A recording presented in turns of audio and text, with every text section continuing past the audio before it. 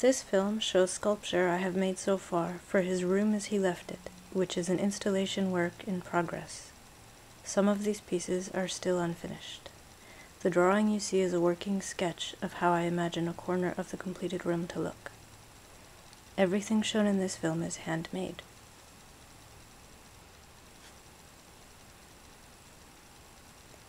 Paper mache, aluminum and wood filler around a graphite core, ink on paper,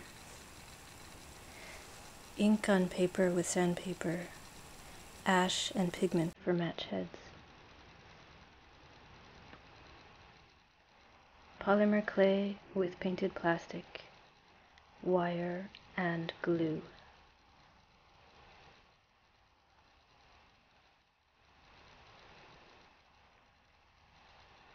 Painted paper over wire with fabric.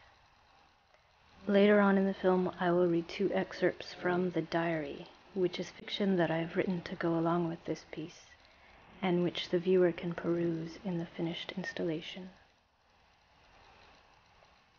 Ink on cut, folded, and glued paper.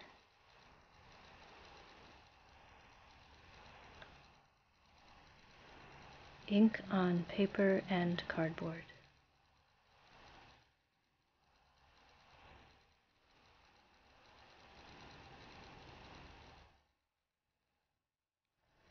Colored pencil and holes on paper.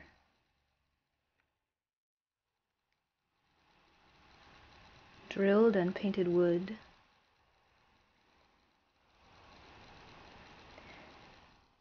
Folded, glued, cut and painted cardboard with filed and bent wire.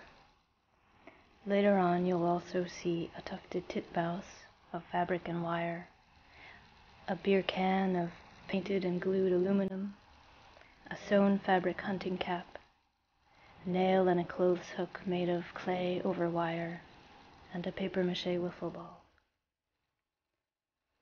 This toothbrush is painted polymer clay with my own hair.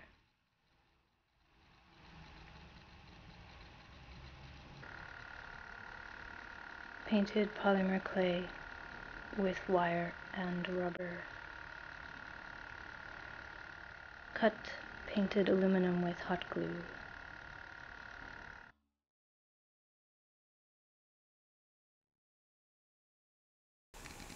My birthday is coming up and Henry thinks we should have a girl jump out of a cake.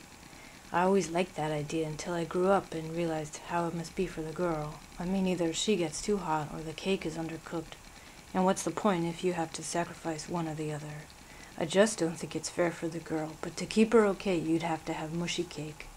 And who wants that? It's a birthday. So I said this to Henry, and I think he's probably still laughing. I said, How do they survive the heat? And he said, How does who survive the heat? And I said, The girls in the cakes. And at first he said, They're insulated in this way that was totally serious and made me think maybe it was okay after all for a girl to be in a cake. But he kept staring at me, and then I knew he was just being Henry at me.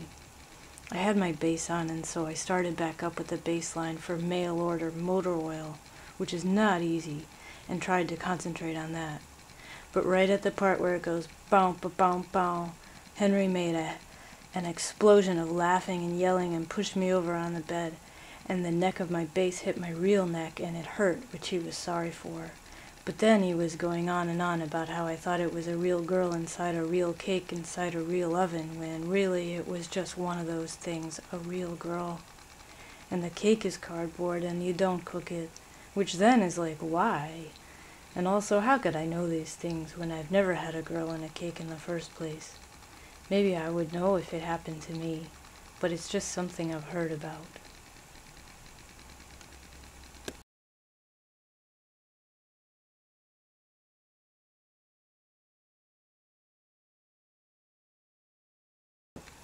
Why do trees have to smell so darn good? My walks keep getting longer and longer because I have to stop every few feet to sniff bark.